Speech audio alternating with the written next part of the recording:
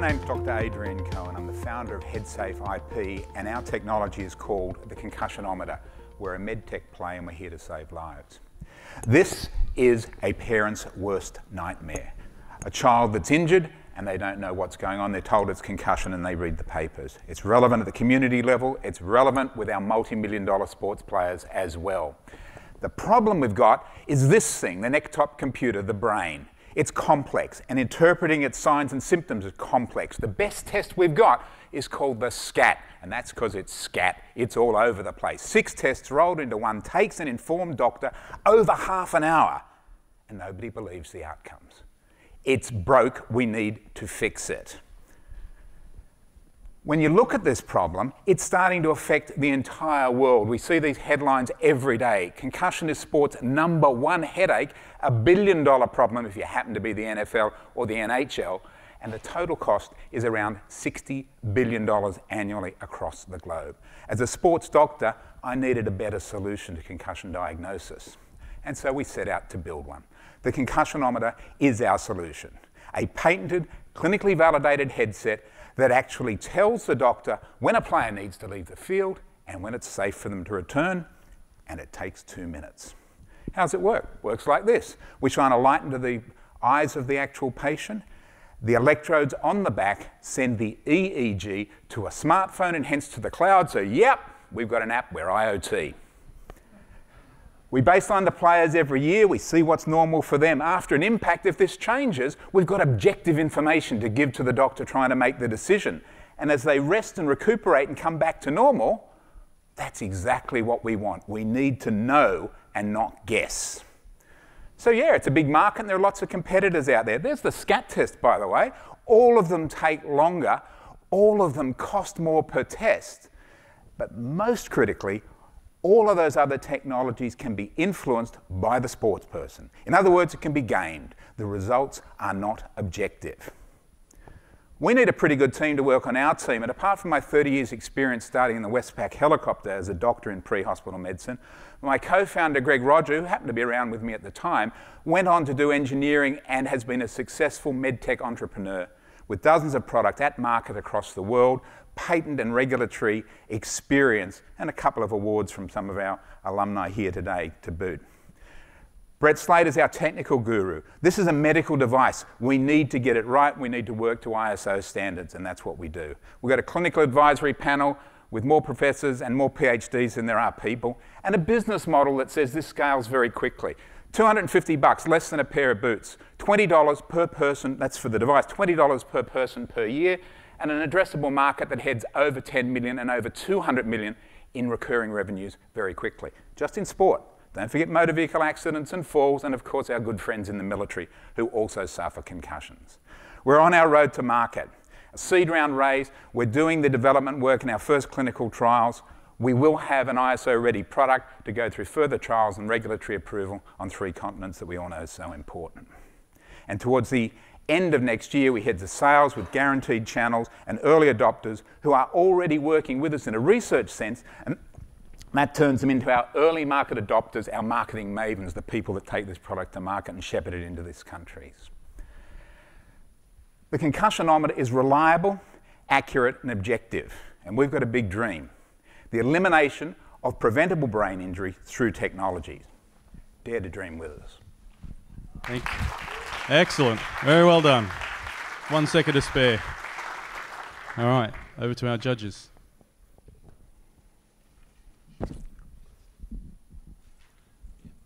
Um, so I've seen a lot about this. Uh, have you got any um, in uh, sort of business in with the NFL or any of those kind of areas where this is a very public kind of problem at the moment? Have you? So we've just come back from uh, being in the US and the UK because here in Australia nothing's spent on research in sport. So the NRL, our rugby league, who makes all the money, just announced a massive sum of $65,000 going into research this year. All right, that didn't pay for lunch, by the way. $65,000. On the other hand, the NFL, who we started our discussions with, have just announced $20 million per project over the next three to five years for applicable technology. So we've got a project there running through Mount Sinai University and another one that we hope to kick off with Stanford as well. Do mean kick off because they've both got footy teams. Funny sort of football, they throw the ball forward a lot.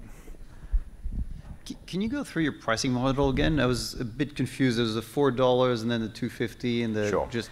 So the hardware is designed to be almost giveaway. We're talking, we're talking um, inkjet printers, two hundred fifty dollars, Yep. less than a pair of boots these days. Yeah. And that's for a team, or and that's that for that's player? for the for the individual unit. That's from the doctor, who's our consumer, or the sports trainer. Yeah. Ultimately, they're funded by the sport, the school, the um, the group or alumni that they're part of, and fundamentally the health system and the insurer underneath all of that. Yeah. The subscription model is $20 per player per year, so recurring revenue to do your baseline to test you as many times as you need during the season. In a high risk sport, you might be tested every week, or you might just be tested for cause. There's no reason because of the simplicity and the speed of this test where it simply can be done every week. Because we're not just worried about the big concussions where there's a knockout and somebody staggering all over the field, they're the obvious ones. We're worried about the gradual um, trauma that's built up over time, so called subconcussive impact. In other sports like soccer, where you don't necessarily have the big knockouts, but you do have damage being done, and soccer's very worried about that. But they have to take the approach that it's better to know and to be able to reassure your uh, player base than put their head in the sand like they've done for the last 30 years. So I can see, um, you know, you explained that you take sort of a baseline of a player and then you look at their their um, status after an event. You can compare it against a baseline. What if you don't have a baseline? Can you also see um, that there has been a problem because So- it either returns or doesn't return to normal, or how does that sort of work? Absolutely. So we can do that longitudinally. So someone comes into a trauma centre and it's the first time we see them, we can track longitudinally what's happened. The really exciting thing of this is in the big data. We are going to learn so much about the brains of normal people, of injured people. It'll inform other diagnostic dilemmas as well. And the more we've got, we can throw the analytics into our software program as well and start to give that result straight away. It's complicated, it's political, because no doctor wants a phone to take their place, let's be honest. Is, So we'll help them. is it applicable to other sports or junior sports? And can you charge parents, therefore, the subscription? Absolutely. So, parents of uh, kids at private schools are probably one of the largest market when it comes to. They're particularly interested and they're particularly worried. And they're not afraid. They don't have the same fears that the big sports have that you know we're going to destroy sport. They're interested in their kid playing. They just want to make it want it safe. So it does work across the spectrum. It doesn't matter what age you are. Your brain's the same. Your response to the stimulus we use is the same, and it comes back to normal when you're back to normal. And that's important because people think, oh, concussion, it's not a big deal, it'll be back to play in a couple of weeks. But in kids in particular, a second impact before your brain is healed can be fatal. So the question is, how do we know the first one was a concussion? We measure it. How do we know they're safe to go back? We measure it and tell them they're back to normal. Just quickly, what's your secret sauce to be cheaper than everybody else? You said like there's a whole bunch of people who do the same thing, maybe not as mobile, maybe not as cheap. What's And more importantly, not objective. So a test that uses something that can be changed or influenced by the athlete, where they're doing a cognitive task, like a visual test, we need you to read these numbers as quickly as you can. Well, guess what? They're now sandbagging that test. They're being taught to sandbag. The whisper goes around the locker room. The first time you do it, don't go as quickly as you can because you'll look better the next time. It's the equivalent in the old days of the whisper that used to go around, hey, you know when Doc holds up, he always holds up three fingers and the answer's always three. All of those are subjective and can be influenced by the athlete. You cannot even do that with your eyes closed with our test. So you can't game it, you can't influence, you can't bow to pressure. And it gives the doctors something on which to make a decision. So they Great. Thank you very much. Thank you. Thank you.